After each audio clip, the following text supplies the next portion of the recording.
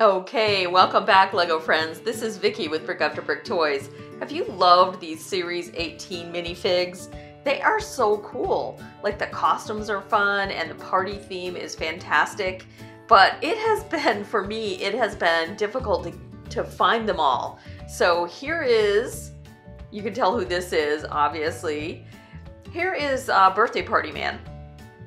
And as you can see, I have a lot of others in this particular grouping, I was able to find quite a few at one time, but I still couldn't get them all.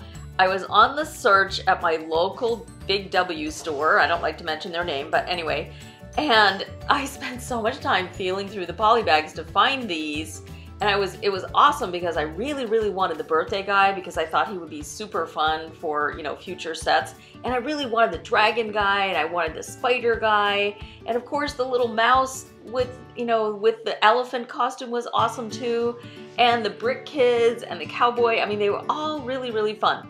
But um, i finally found birthday man. So that was awesome. But i was still missing a few. So this video has most of the rest of the poly bags but there's one missing so use your mental faculties and your intelligence Figure out and leave in the comments below who is the one missing at the end of this video. So here's the rest of the builds. So I wanted to go ahead and review these. These are so cute. Totally loved this one. The Unicorn Man. What a cute little set. This is awesome. And look at that shield. Totally awesome. Really, really fun. Okay, Lego Rain. Oh, this one, I wasn't that excited about getting her, but she is really cute.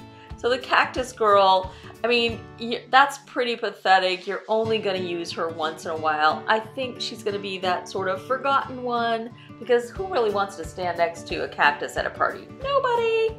And of course, this little party guy was awesome. I loved his hair and the new balloons are really cool. And of course, the little um, video game that he gives as a present. Wow, totally awesome. And then, woohoo, who's this? I don't know if you can tell who this one is. Lego Rain! Finally! I found him! It took a long time to find the policeman because your odds are 1 in 60 of finding the policeman. But I think they're even worse than that because it's 1 in 60 in a box. But there's a lot of extra stuff out there because people are going places to find the um, policeman. And I do think that Policeman is cool because he is the classic policeman um, that they originally came out with. So I think it was really neat that they did that. And then there's one last one that I found in this grouping. And then I'm going to show you a flash again of um, the bigger group and this smaller group. And then I want you to leave a comment who's missing because you're not going to be able to tell who's missing. Hey, I had a checklist and everything. I'll give you a hint who's left in this one. Meow.